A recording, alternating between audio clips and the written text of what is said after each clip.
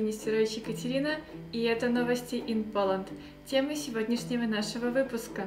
Во Вроцлаве на острове Тамка состоялось открытие винтажного магазина. Вы могли приобрести винтажные украшения и виниловые пластинки. В Польше задержали более 100 иностранцев, нелегально работающих в агентстве по трудоустройству.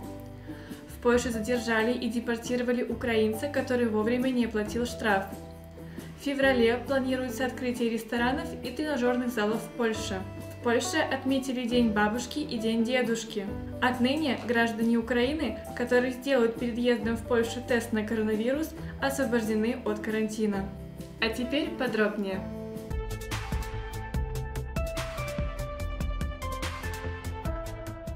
Все еще ищете простой и выгодный способ денежных переводов из Польши? Споко. На данный момент самый лучший сервис денежных переводов.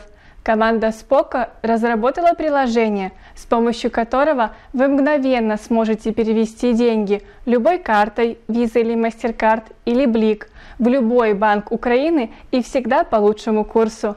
Отправляйте без комиссии на Приватбанк. Все еще сомневаетесь? Тогда скачивайте приложение и проверьте сами. Ссылка на приложение находится в описании под видео.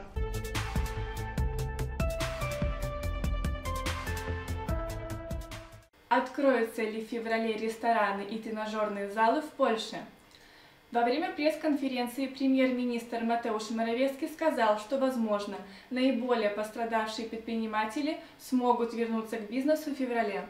Он отметил, что их открытие зависит от эпидемиологической ситуации в стране, которая до сих пор является сложной. Если увеличится количество инфекций и смертей, нам придется пересмотреть планы – я хотел бы, чтобы эти отрасли были открыты как можно быстрее.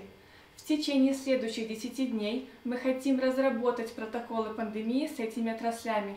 В феврале, но мне трудно сказать, с какого числа февраля, мы хотим внедрить эти протоколы, сказал Матеуш Моровецкий.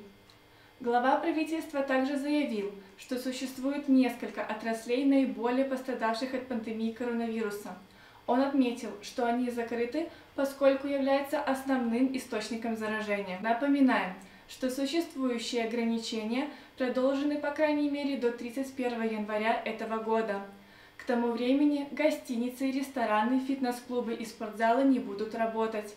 Однако предприниматели уже открывают кафе, дискотеки, спортивные залы, гостиницы и подъемники на снежных склонах – несмотря на ограничения правительства из-за распространения коронавируса. Кто-то теряет бизнес, не дождавшись помощи от государства, а кому-то надоели ограничения.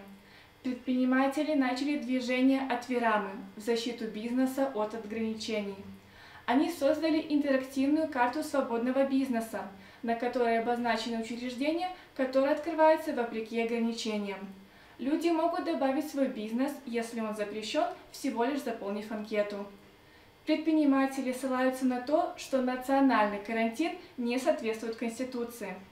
Штрафы, наложенные санитарной инспекцией, суды отменяют. Поэтому, если есть желание посидеть в кафе, нужно где-то переночевать или просто хотите покататься на лыжах, есть возможность поддержать бизнес.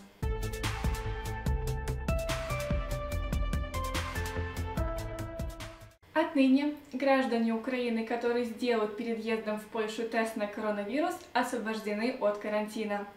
Правительство Польши 22 января поздно вечером приняло решение, которое упрощает иностранцам пребывание в Польше, и можно будет не проходить обязательный карантин. Для этого следует в течение 48 часов перед пересечением границы сделать тест на коронавирус, результат которого будет отрицательным.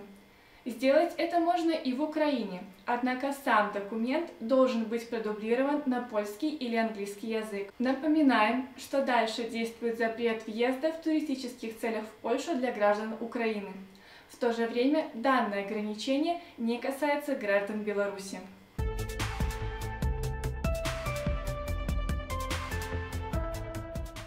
В Польше задержали более 100 нелегально трудоустроимых. Сотрудники пограничной службы в Августове провели проверки незаконности трудоустройства в одном из подляских агентств занятости. Инспекция проверила 198 иностранцев. Среди них граждане Филиппин, Индонезии, Азербайджана, Грузии, Украины, Непала и Беларуси.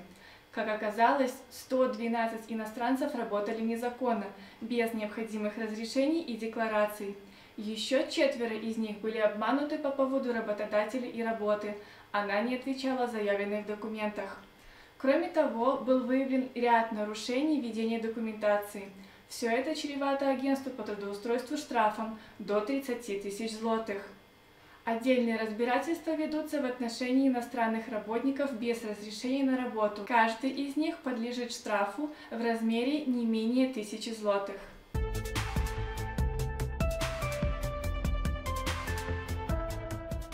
23 января состоялось открытие однодневного винтаж-шоп на острове Тамка во Вроцлаве. Там вы могли приобрести оригинальные модные украшения, винтажные аксессуары, а также виниловые пластинки. Винтаж-шоп можно было найти отборную необычную одежду прошлых десятилетий, качественного и тщательного пошива, которого нет в современных сетевых магазинах. Здесь вы могли безопасно и в уютной атмосфере сделать покупки без отходов и поддержать малый местный бизнес. Были предоставлены горячие напитки на вынос в баре. Также специально приглашенный диджей заботился о музыкальном оформлении. Вход был бесплатный, вход был только в масках, также присутствовали дезинфицирующие средства, а количество людей в магазине контролировалось.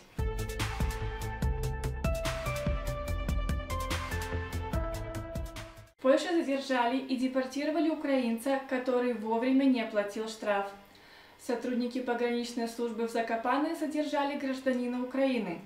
Пребывание иностранца на территории Польши противоречило нормам. Задержание состоялось в городе Мысленице. Об этом сообщило Карпатское отделение пограничной службы.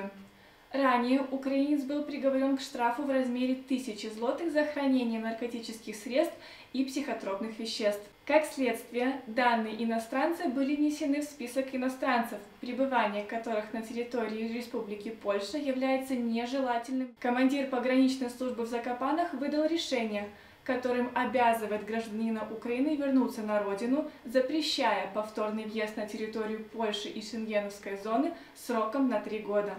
Кроме того, мужчину оштрафовали на 100 злотых за то, что он находился на территории Польши, не имея на это законного права.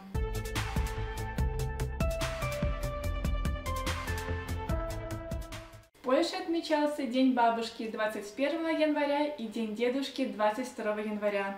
В таких случаях во Вроцлаве всегда проводилось огромное количество мероприятий, которые жители города с удовольствием посещали.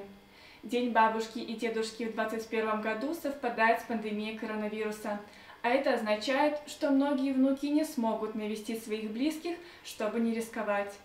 Тем не менее, Центр для пожилых людей Врослава подготовил ряд мероприятий онлайн, чтобы сделать этот день особенным, несмотря на ситуацию в стране. Так, празднование началось 15 января и продлится до конца месяца. Все бабушки и дедушки могут рассчитывать на виртуальные занятия по профилактике здоровья, семинары по северной ходьбе, образовательные встречи по сбалансированному питанию или полипрагмазии, музыкальные классы, мемориалы и встречи поколений, а также фотоконкурс. Участие в встречах бесплатное – Просто нужно зайти на сайт seniorzy.wroclaw.pl и выбрать одну из интересующих ссылок. Людям, которым может потребоваться помощь при входе на сайт, сотрудники Центра для пожилых людей во Вроцлаве предлагают помощь по телефону или по электронной почте.